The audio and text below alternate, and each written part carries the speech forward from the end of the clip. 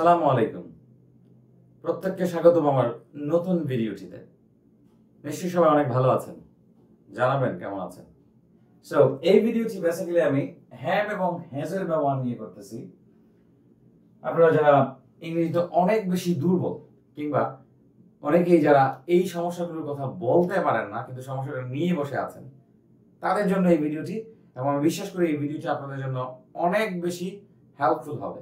So চলুন শুরু করা যাক। বাম পাশে আমি যে জিনিসগুলো রেখেছি, এগুলোকে বেসিক্যালি সাবজেক্টস বলে।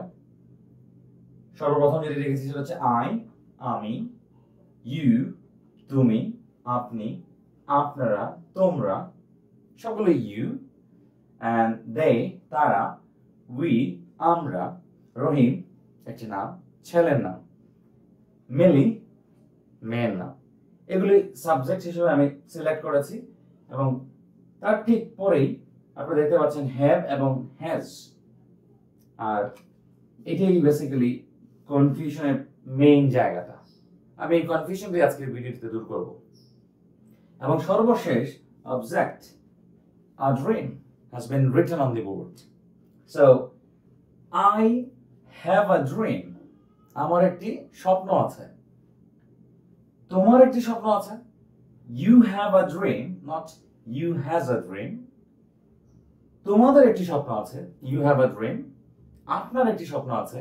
ইউ হ্যাভ আ ড্রিম তাদের একটি স্বপ্ন আছে। দে হ্যাভ আ ড্রিম আমাদের একটি স্বপ্ন আছে।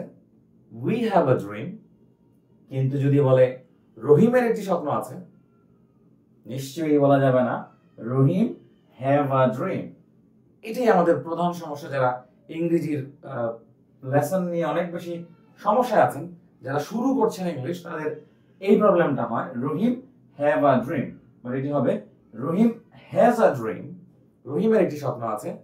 মোট কথা যে কোনো নাম নট জাস্ট রহিম, পৃথিবীতে যত নাম আছে, সব নামই হচ্ছে থার্ড পার্সন সিঙ্গুলার নাম্বার আর যখন এটা থার্ড পার্সন সিঙ্গুলার নাম্বার হবে, তখন হ্যাভের পরিবর্তে হ্যাজ বসবে। So Rahim has a dream Karim has a dream Ahmed Rasel has a dream or he has a dream. He basically রহিমের pronoun. So noun পরিবর্তে যে প্রোনাউনটি ব্যবহৃত হয়, তার তার সাথেও কিন্তু আমরা have এর পরিবর্তে has ই ব্যবহার করব। তাহলে she, এটা একটা নামের প্রোনাউন একটা মেয়ের নামের প্রোনাউন মিলি যেটা আমি লিখেছি, she has a dream.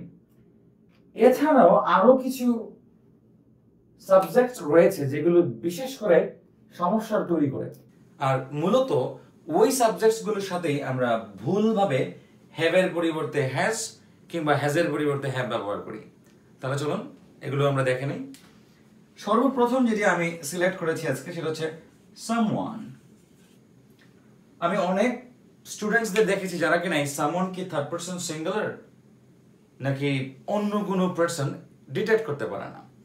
Someone is third person singular number so সামওয়ানের সাথে অবশ্যই হ্যাজ বসবে। এটা ডিটেক্ট করার জন্য আপনি এই ওয়ান শব্দটিকে ব্যবহার করতে পারেন? Someone only one alright someone has a dream Rahim only one Rahim has a dream if my friend is Rahim. In that case, Rahim is only one. Alright, so somebody, you can say somebody, the same thing, somebody, somebody has a dream. Everyone, look at this. এটা নিয়ে অনেক সমস্যা আছে। Everyone মানে সবাই বুঝে প্রত্যেকেই। তাহলে এটা একজন কীভাবে হবে? থার্ড পার্সন সিঙ্গুলার নাম্বার কীভাবে হবে?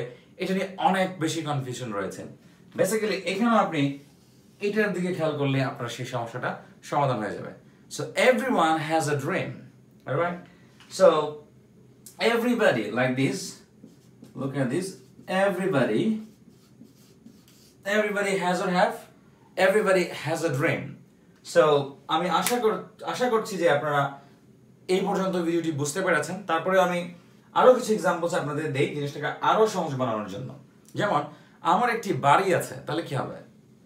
I have a house right তাদের একটি গাড়ি আছে। So they have car? তোমার একটি ল্যাপটপ আছে। তাহলে কি বলব? ইউ হ্যাভ আ ল্যাপটপ রহিমের একটি গাড়ি আছে। তাহলে কি বলব? রহিম হ্যাজ আ কার আমার বন্ধুর একটি বাগান আছে। আমার বন্ধু। তাহলে কি হবে? আমি লিখছি এখানে মাই ফ্রেন্ড মাই ফ্রেন্ডের সাথে কি হ্যাভ বসবে না হ্যাজ বসবে? মাই ফ্রেন্ড আমার বন্ধুর। বন্ধু কয়জন? একজন। তাহলে my friend is third person singular number my friend has a garden তার বন্ধুর একটি বাগান আছে। থার্ড পার্সন সিঙ্গুলার না প্লুরাল তার বন্ধু। কজন? একজন। সো হিজ ফ্রেন্ড তার বন্ধু হবে হিজ ফ্রেন্ড হ্যাভ না হ্যাজ যেহেতু বন্ধু একজন, তাহলে his friend has a garden his friend has a market right so তাদের বন্ধুর একটি বাড়ি আছে। তাদের শব্দটা শোনার পরে অনেকে ভাবে, আমি এখানে লিখছি দেয়ার ফ্রেন্ড অনেকে এটাতে ভুল করে, কেননা তাদের বন্ধু, এটা দেখলেই মনে করে, মনে হয় এটা প্লুরাল কিন্তু তাদের বন্ধু কয়জন? একজন। তাহলে their friend has a house not have a house right so সর্বশেষ যেটি আমি লিখব, সেটি অনেক বেশি কনফিউজিং এটা দিয়ে আমি শেষ করব। যেমন, আমার এক, আমার একজন বন্ধুর একটি বাড়ি আছেন আমার একজন বন্ধু, তাহলে এটা কি হবে? One of my friends one of my friends আপনারা একটু মনোযোগ দিয়ে শুনবেন ওয়ান অফ মাই ফ্রেন্ডস প্রথমত হচ্ছে অনেকেই ওয়ান অফ মাই ফ্রেন্ড বলে ফ্রেন্ডস বলে না, যেটা গ্রামাটিক্যাল ইনকোরেক্ট বলতে হবে ওয়ান অফ মাই ফ্রেন্ডস আমার বন্ধুদের মধ্যে একজন ওয়ান অফ মাই ফ্রেন্ডস আমার বন্ধুদের মধ্যে একজন, তাহলে আমার বন্ধুদের মধ্যে একজন, তাহলে এটা থার্ড পারসন সিঙ্গুলার নাম্বার তাহলে সেন্টেন্সটা এরকম হবে ওয়ান অফ মাই ফ্রেন্ডস ভুলবশত যেহেতু এখানে এস আছে, অনেকেই হ্যাভ ব্যবহার করে, যেটা কমপ্লিটলি ইনকারেক্ট তাহলে বলতে হবে one of my friends has a dream not have a dream কেননা ওয়ান অফ মাই ফ্রেন্ডস হচ্ছে একজন বন্ধু। সো ভিডিওটি আর আমি দীর্ঘায়িত করব না। আমি আশা করছি আপনারা অনেক কিছুই জানতে পেরেছেন যারা বেসিক্যালি ইংরেজিতে অনেক দুর্বল। যদি এইভাবে করে আপনি কিছু সময় প্র্যাকটিস করেন, পাঁচ থেকে দশ মিনিট হতে পারে, ত্রিশ মিনিট হতে পারে, সর্বোচ্চ এক ঘণ্টা যদি কেউ এভাবে প্র্যাকটিস করে, তার লেভেল যদি জিরো হয়, আমি বিশ্বাস করি তার জায়গা থেকে সে অনেক দূর যেতে পারবে এবং ফার্দার যে ভিডিওসগুলো আমরা নিয়ে আসব, সেগুলো তারা বুঝবে এবং তাদের ইংলিশ ধীরে ধীরে ইমপ্রুভ হবে। সো সবাই ভালো থাকবেন এবং অবশ্যই ভিডিও যদি ভালো লাগে শেয়ার করে দিবেন এবং ডিএলআই এর সাথেই থাকবেন। ধন্যবাদ।